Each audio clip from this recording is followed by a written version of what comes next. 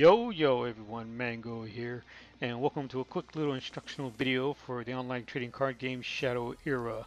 So this is going to be a real basic and quick video, and it's just about how to view past match history. Okay, so we're going to start off here just at the campaign map. What we're going to do is we're going to come down to this little glass or chalice icon. We're going to click on that. Let's have a drink, see what they got. They got top players. All right, so they got top, uh, top players for these top three, uh, for the three gaming modes. We're not going to go over that at all. What we're going to do though is we're going to look at the best score. We're going to say, hey, look, Ozone F, this guy's number one. Maybe you're new, you don't really know what all this stuff is, but you go, hey, this guy's number one. He must be doing something right. So let's click on his screen there or his little uh, avatar and let's see what comes up.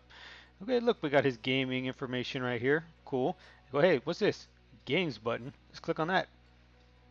Boom! Look at that. Now you have access to his most recent gaming history, uh, going back 22 games, I believe it is. So you see, you can just scroll up and down uh, to see which ones uh, catches your eye. But and then all you have to do is uh, go to the match. Go ahead and just, yeah, it's just easier to. Eh, it doesn't matter where you click. Just click on it somewhere, and then, boom, the game comes up for you. All right. So then uh, what you do is you're able to watch this uh, just as if it was going on live and you joined as a spectator. Right, so no different there. You can't see the cards in either player's hand, but you're able to watch as the game is played out. Uh, the one option you do have though is you can hit pause, and then the game stops. This way you're not, uh, you don't miss anything in case you want to get up and get a ham sandwich or something. Okay, and then uh, when you're ready to go again, just hit continue. There you go, good to go. All right, so what we're going to do now is we're going to go ahead and come down to the bottom left-hand corner, and we're going to use this option to leave. And there you go.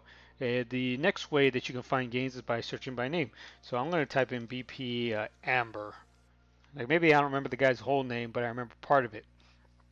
And there you go, BP Amber Fade. And so you see, I didn't type in the entire name, but I did type in a good portion of it, and it was able to, you know, fill in the rest for me and bring up his uh, his games. Then the same thing applies. You know, you can use this to scroll down, up and down, and then you just click on the game, uh, click on the match when you want to view it. The final option here is the way to view your own games. And it's very simple. My Games button. Just click the My, My Games button. And there you go. There's your most recent match history. And so what you do is you just click on one of your games. Maybe you wanted to watch it again just to see, you know, how it was. You're able to pull out that win, or more. What's probably best is to watch the games that you've lost. This way you can try to figure out what you could have done differently to maybe uh, change the outcome. You know, maybe you sacrificed a card early on that you realize, man, if I only would have held on to that card for another two turns, it would have been really helpful for me. And you know, unfortunately, you did not. and You lost the game. Maybe maybe it would have helped you win the game. Maybe it would not. You know, you never know. But at least you're able to kind of go back and say, okay, next time I'm in this matchup and I have, you know, a semblance of these cards in my hand, you can make choices a little easier because you can go back to uh, what happened when you lost, and you know try to change that for for your next game, uh, for your for your current matchup, and try to win that one. Okay, so that's a, that's a great reason to watch past games, mostly just to watch the ones that you've lost and try to learn something from them. Again, so same thing, you just go down bottom left hand corner and leave. And so that's really it. So again, uh, this was just about helping you to view the match history. You know, and again, if you're on the campaign screen, all you have to do is come down to the bottom right hand corner, hit the cup, and then click on a player that you want to check out.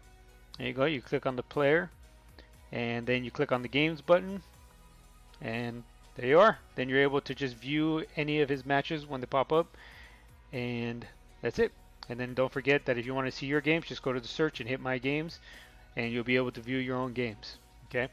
So that's going to be it for this video. Like I said, it's going to be a real quick video and it's just just focusing on the being able to review your match history. And so again, uh, thanks everybody for watching. Uh, thank you for supporting the channel. You know, please do everything you can to help us out. Uh, like, share, subscribe. You know, the videos and to the channel. And uh, just uh, we'll try to get some more stuff on there to help new players. Uh, there's still a video up there that I, I, think is really helpful. It tells you exactly how to get started. It says it's titled "New to Shadow Era," and there's three different videos, and it shows you how from nothing uh, from starting from nothing, brand new account, how you're able to build at least one competitive deck. I need to get the other, or we need to get the other ones out there for the rest of the heroes, but you know we'll we'll take care of that shortly. Again, this video though was just about the match history. So again, please like, share, subscribe. Uh, again, thank you for uh, supporting us, our channel, Guides of the Era, as we try to make this game a little bit easier, or and just give some instruction to new players when they join us. All right. So see you guys next time.